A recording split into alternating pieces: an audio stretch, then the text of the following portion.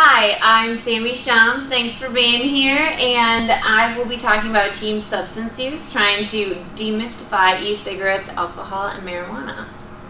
Alright, so the objectives for today's presentation um, include emphasizing the importance of targeting adolescents and young adults on substance use concerns, um, and then highlighting especially e-cigarettes, alcohol and marijuana use and concerns among teens, as well as outlining warning signs and some protective factors that we can help grow, and then providing suggestions for parents, um, I guess, or teens themselves if you're curious, and, and then answer any questions that you might have.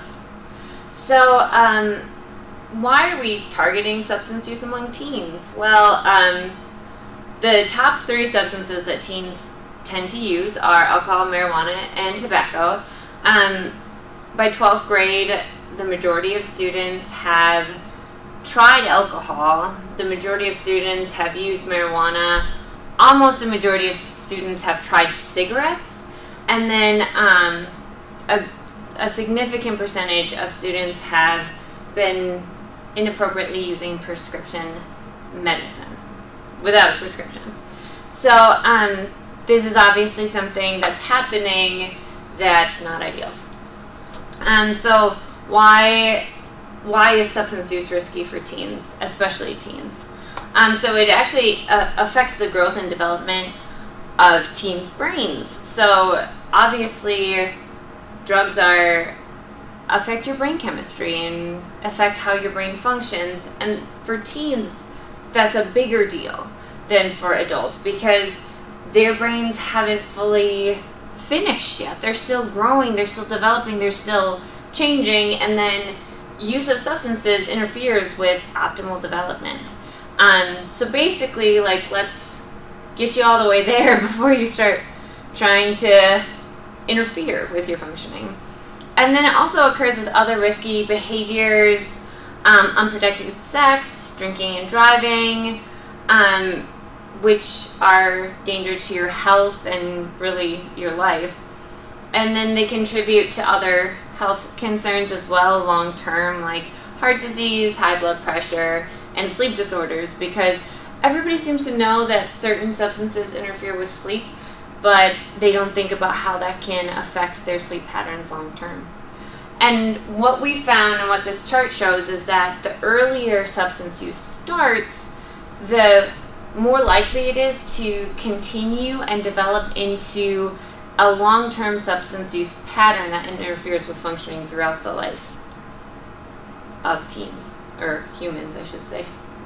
So let's start with e-cigarettes, um, that's vaping, Juuls, pods. This is a whole area that I've had to educate myself on because it's new, it's young, and that's part of where a lot of the concerns come from. So what we can see is that um, we get all these awesome stats on how teens these days don't tend to use cigarettes.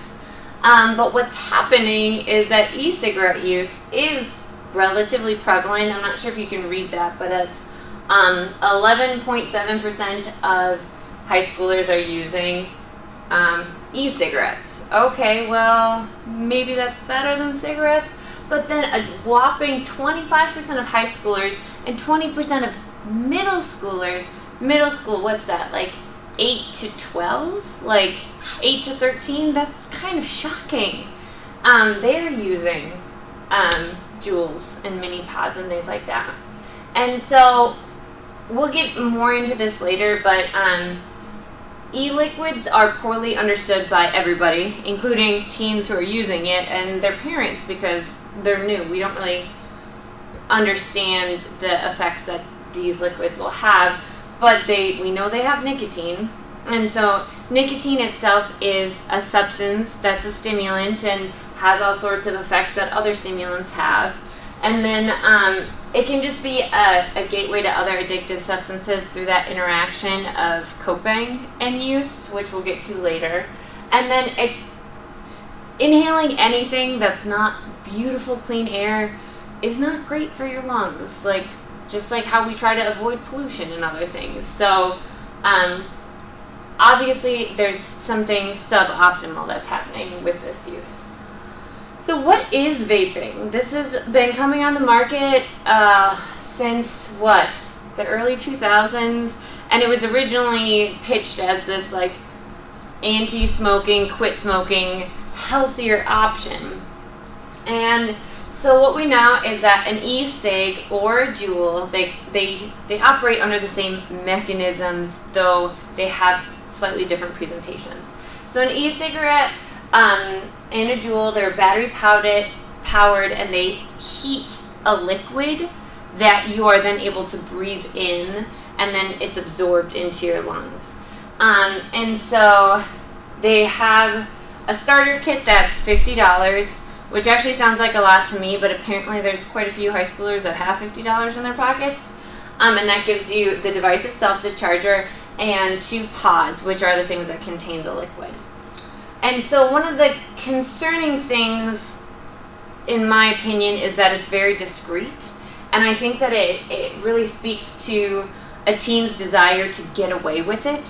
So what actually happens is um, the, the Juuls or the pods, they have no smell.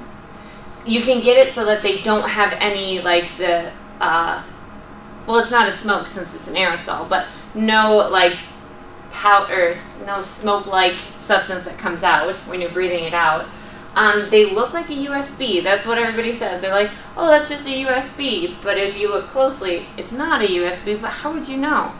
Um, and then they charge with a wall charger, and then they actually have decorations so you can decorate your own vape skin. And I feel like, to me, there's a lot of indications here that, um, again, we're seeing nicotine being targeted to young adults who are looking to get away with stuff. They're looking to maybe express their identity, and um, and we'll get into later why that's not great for a developing teen's body and brain. And so really, one pod equals a pack of cigarettes related to how much nicotine they have. It probably takes them less time to smoke or to inhale a pod compared to a pack of cigarettes. And then it's $20 for five pods, so you do the math, that's about $4 for a pack of cigarettes, or the nicotine equivalent of a pack of cigarettes. And then as they're breathing it in, it's triple the potency of nicotine. So if you think about how um, once you get addicted to nicotine, it's that reward. Well, they get this big reward for inhaling it, and then they reach a higher level of nicotine in their body, which then, you know, kind of keeps them coming back to that. Um, also, it can be filled with other products, so uh, CBD oil or um, oil that has THC in it could also be put into these pods, and um, they could then be um, inhaling THC, which is its own section. Um, and then I think a lot of because of the way that e-cigarettes and Juuls have been advertised, there's not really necessarily that awareness that there is a substance in here. There's nicotine. I think a lot of kids think, oh, it's fun and it tastes good. And they might not be fully aware that there's nicotine in that. So the safety of e-cigarettes. I can't stand up here and say e-cigarettes are going to kill you. We don't know what they're going to do. They're new. We haven't really seen the development of the long-term effect of e-cigarettes.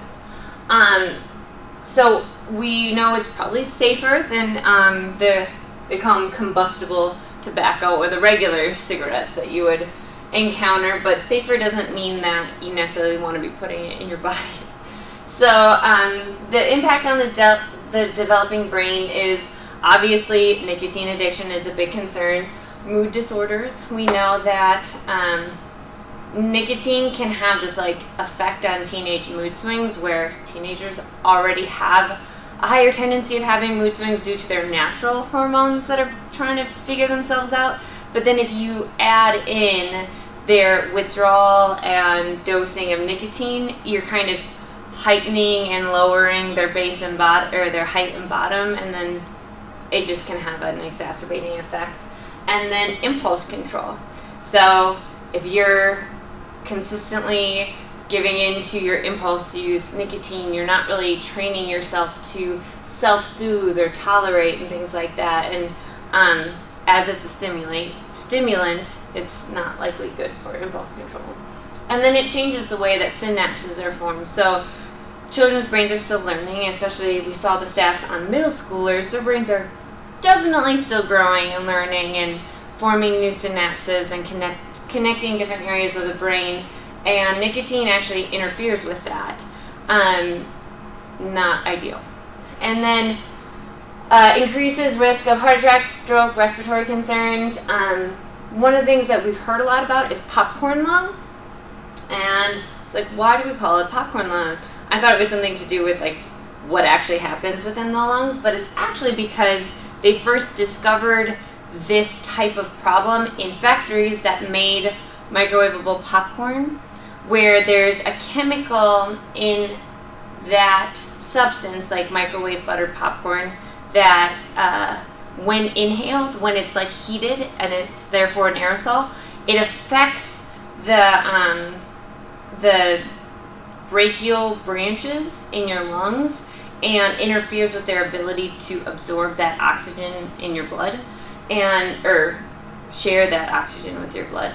And then um, what they found is they're putting a similar substance in a lot of e-cigarettes, um, which then people are directly inhaling, not accidentally in a factory like when it was originally found. So now people are directly inhaling it, which is then causing this long-term problem that we don't have a lot of research on because it was kind of an isolated problem until e-cigarettes. And then also with respiratory concerns, think about it. If you have an infection in your lungs, what your lungs want is clean, pure oxygen so that they can recover. But then you're putting this other substance repeatedly every couple hours into your lungs. It's going to interfere with your ability to heal from respiratory infections. And then infections from sharing with peers. Um, if anybody's sick and you put your mouth where your peer's mouth is going to be, that's going to be, you know, contagious. And um, yeah, so that's just not super ideal. And then they can explode and cause burns. That's why they can't go in and check luggage. It's not the most stable device. Um, so that's a concern. The next area that we really like to highlight for teens is one that everybody knows about. It's alcohol. We hear about teen alcohol use all the time, but like let's dive into what's actually happening and why it's a concern. So, for alcohol, the risk to teens is that it's it's a leading cause of death. There's not a lot of things that are endanger teenagers' health. They're they're stereotypically robust people, um, but alcohol and um, poor decisions made while using alcohol is one of the leading causes of death among teens.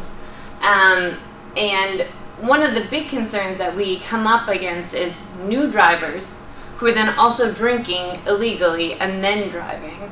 And um, a lot of a lot of students maybe they haven't drank and drive, but we find that a lot of them will get in the car with somebody who's been drinking, and so that's a, obviously a very big concern. And then there's also general health risks to like repeated alcohol use in the teen years.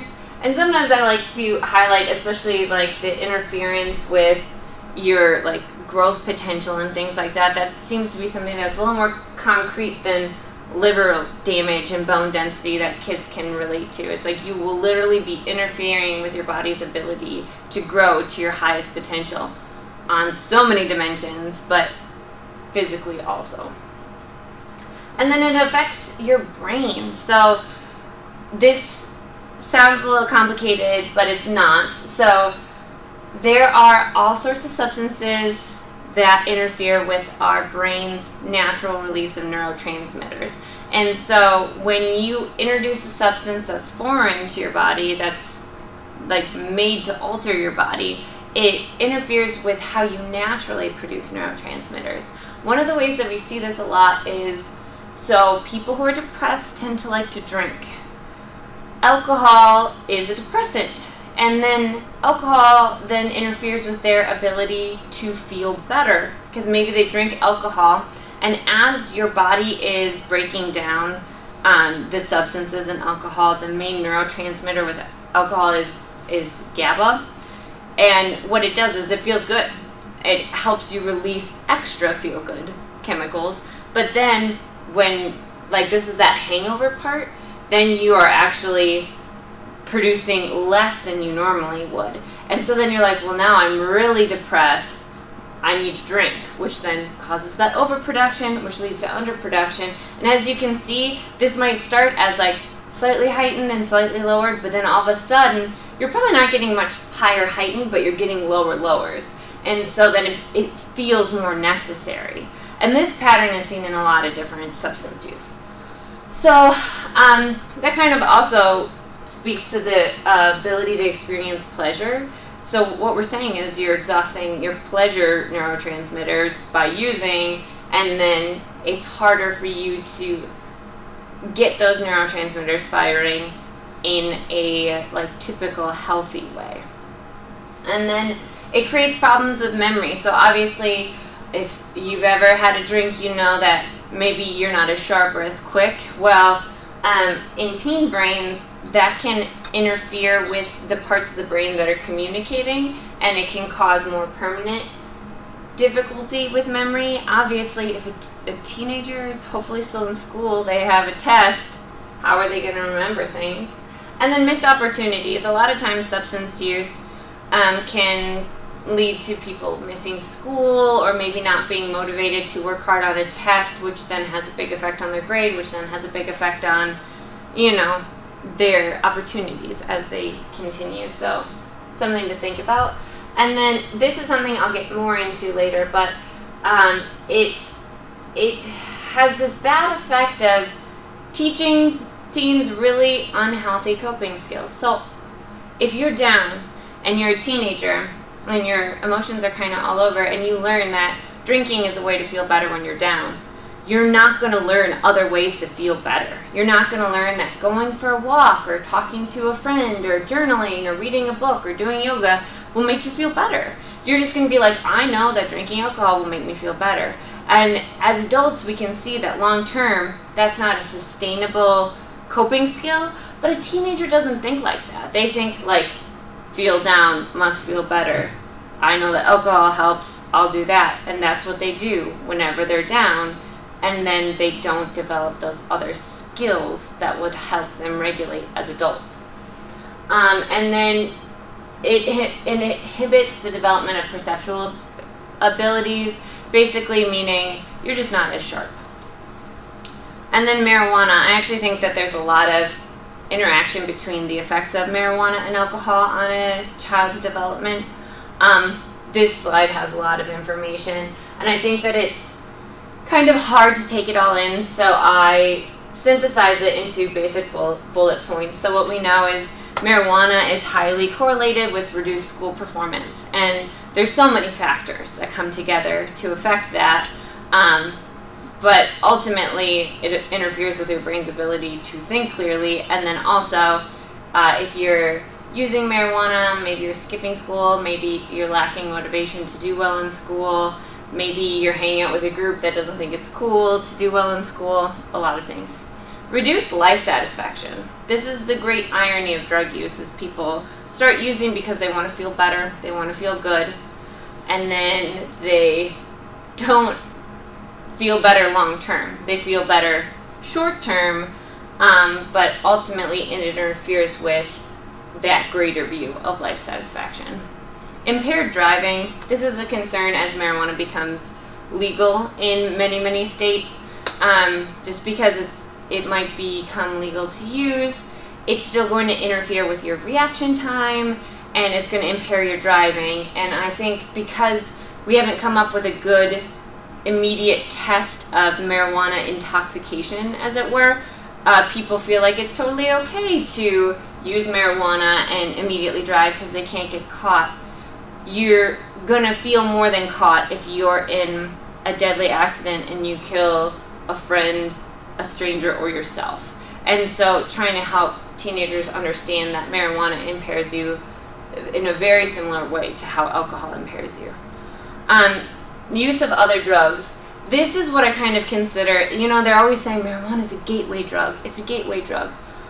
It's not necessarily the use of marijuana that's a gateway drug, but if you know someone who deals marijuana, you probably know somebody who sells Adderall or like Oxy or other substances that are maybe just that next step further. And then you and then if you know somebody who sells those, maybe you know somebody who sells cocaine and all these the the drug hierarchy basically. So I think of it as not a gateway because of the use, although I guess it is that way as well, but a gateway because you now have this introduction, this access to this whole world. And then some people, when they first use marijuana, maybe it was like peer pressure and they don't like it. Uh, you can feel nauseous, you can vomit. Some people are like, like it messes with their head. They call it a bad trip, so then they're very paranoid and uncomfortable. But then if you're peer pressured enough, then your body becomes acclimated to it and then you're more likely to maybe enjoy it or associate have positive associations with using with your friends um, so another thing that's not often talked about is there is a high association between um, either first time or high use of marijuana so either the first time you use or maybe the first time you use a strong amount so either you use a dab pen when you normally smoke and dab pens are a lot stronger you use an edible that has a higher concentration of oil than you normally eat, and then what it can do is trigger a psychotic reaction. And everybody's like, that's not going to happen to me. But there is a not insignificant association between the use of marijuana and basically what it does is, I call it, it like unlocks a dormant psychotic tendency. So people who have maybe a genetic predisposition to psychosis. Um, marijuana can we don't really understand why, but it can it can cause that that dormant trait to be expressed. And we can't know if oh maybe it would have eventually been expressed anyways, but it tends to be that first psychotic episode. And so I think it goes a lot along with the paranoia and things like that. There's some interaction happening there that causes you to lose touch with reality. And then this slide is, in my opinion, the most important slide to understand teens and substance use. So there's a significant interaction of substance use because of that unhealthy coping skill dynamic of if if you're anxious in social situations you're like, I'll just have a drink or two and then I'll feel better. Well, then eventually that's the only way you can socialize, and you become terrified of socializing without being a little drunk. Um, and then depression, I, I talked earlier about how I'm down, I'm going to drink, and then it'll make me feel better. Oh, now I'm more down because I drank and exhausted all my neurotransmitters that make me feel better. I'm going to drink again. And it becomes this kind of repeat coping skill and then that coping skill interferes with all the other areas that are sometimes helpful and sometimes stressful, kind of that natural life balance. But then it increases the stress because maybe you go to work hungover or you go to work drunk or your friends and family are concerned because you said something really inappropriate when you were under the influence and then you have more stress and then all you know how to do is use substances to make you feel better and so it kind of creates this cyclical cycle of, you know, reinforcement for that substance use. So I guess the big trick is to just not start and not start young, definitely. So this kind of talks about some of the warning warning signs we found in teens. And I think one of the unfortunate things is a lot of this is pretty developmentally typical. So if, if they're all of a sudden fighting with you, if their grades dip, um, if they have a who cares attitude, um, mood changes, like if their mood seems to be fluctuating, um, if their friend group switches, um, and then obviously finding alcohol or any other substance on them or smelling it on them. Those are some things to look for. But ultimately, I like to focus on the protective factors. What are things that are present in high schoolers that aren't using? Well, rules at home. This is one thing that people can have a back and forth relationship with, but having clear, understandable, followable, enforceable rules in their home um, from an early age all the way through helps them to regulate their own behavior. Because if you enforce a set of rules and they then have to regulate themselves to follow them, they learn how to manage themselves. Um, so consistent, um, predictable discipline at home, limits, rules, structure. All this stuff sounds boring, but it's so good for your kids. Um, ability to make friends and healthy peer relationships. So I think of this as okay, so what can you do? You help your kids to socialize at, an early age and provide appro- appropriate scaffolding, get them into Boys and Girls Club, um, help them join summer art classes or something where they have to use that, that making friends muscle. Because that's a muscle, it's a skill that we learn, and the more we can support that, the better. Extended family and community support. Unfortunately, teenage years are tumultuous for all kids, whether they're using subs- substances or not. So if they can have a cool uncle or a youth group leader or um, a Boys and Girls Club coach who they're like, you're awesome, then those people that you already know and like and trust can tell your kids the same stuff that you're telling them, but they'll be more likely to listen. And then um, partnering between school and you guys, well, the parents, obviously, uh, that's a big part. So then, if something's going on at school, you know about it. And if you have concerns at home, maybe you can talk to their teacher and see if they have any concerns. That communication piece. Um, helping the school to reduce bullying. Bullying is a significant problem that I, I believe we'll be addressing in future talks, but that's a big concern. Building mastery. Um, one thing that people underestimate is having to do something that scares you and figuring out how to do that. Because I think oftentimes it's, it's easy to want to help your kids do their best, but what we don't understand is the kids can interpret that as my parent doesn't think I can do this on my own. I must not be able to do it on my own. I must be really bad. And so building mastery, allowing your child to struggle and get through it, even if they don't get a perfect A, the fact that they were they were allowed to struggle and then complete or succeed, that's that's that mastery piece, that sense of self accomplishment, self competence, like I can do this. Positive physical development, so just making sure, you know, maybe um, like the really basic stuff that seems obvious, but like good, adequate nutrition, regular exercise, go for walks as a family, go for bike rides as a family, get yourself outside as much as possible, have active activities. Um, those types of things can be helpful. Emotional self regulation kind of comes back to the rules. If they have to follow rules, then they have to learn how to self regulate their emotions. Um, high self esteem, they need to know that you love them. Um, and while you might not like all their actions or all their behaviors, you love them as the wonderful human beings that they all are, even if they're not always acting wonderful. It's the behavior, not the person who's negative.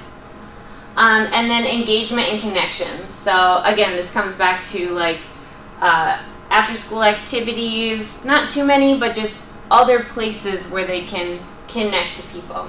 And then mentors, very similar, where they have somebody who's a little bit older than them, but maybe not as old as their parents. Not that you guys are old. Um, but somebody who that they they can really relate to, who's doing well in life, that they can want to emulate. So what can you do? First of all, be really careful about your prescription drugs. There there may be drugs in your cabinet that your kids know what they are uh, in a less healthy context, but you don't. So just make sure your prescription drugs are in a place where your kids can't access them. Um, know your children's friends. I can't emphasize this anymore. Like, know who your kids' friends are because at this age, their friends have a, more of an influence on what they're doing and what they're engaging in than you do.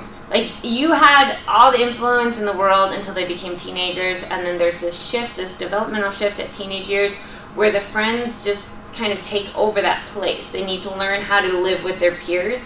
And so making sure that you know their friends so that you know what's going on in their life. Um, setting consistent limits and boundaries. I think people really struggle with this. It's hard when your kid's yelling at you and they're really upset about something and I think it's really easy to second guess like am I being too strict? I want to be a cool parent. You know what? You're going to be a lot cooler in 10 years when your kid is like, "Thank you. I was a total jerk, but I just needed you to put your foot down." And um, give them responsibilities this is that building mastery piece that is so underestimated and I think so central to all mental health outcomes. But like if they have chores, if they have maybe if they're old enough to have a part-time job and they have to do stuff, that sense of self-esteem just develops naturally. Um, don't take the teen too personally.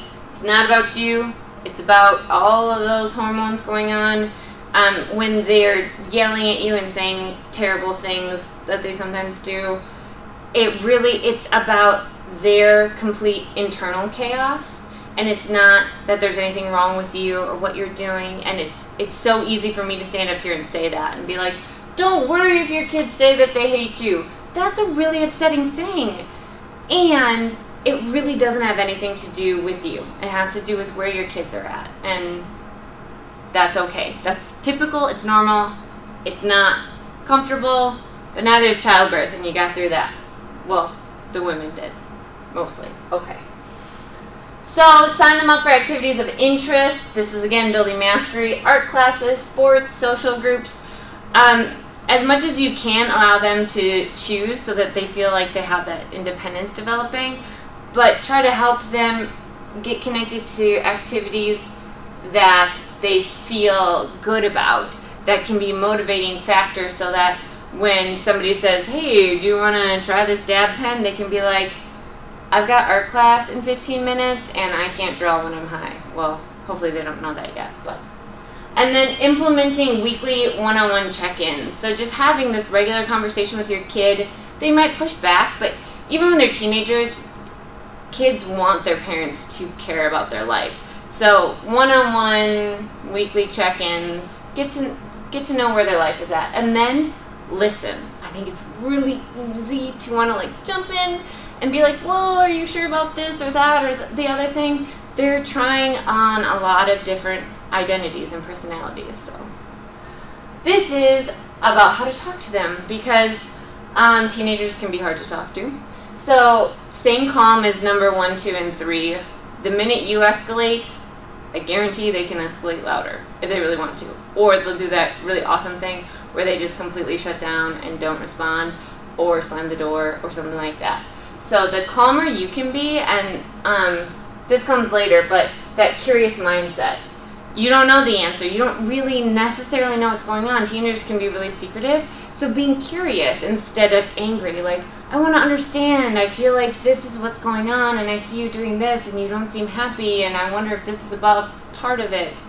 That type of calm, curious, caring. Three C's. Be prepared to listen and try not to interrupt. I think it can be really easy to be like, okay, I really want to say this, and then we've got to get to this appointment, and then we got to go here, and then we got to run errands. No, just let them talk because right now they really are in this space where they need to be heard and the more that they feel like you care about what they're saying, they will care about how you respond. Um, remember what it was like to be a teen. This part is hard because like your hormones are no longer going wild. You're no longer in this kind of I've never been there mindset. And so it can be like hard to understand where they're coming from.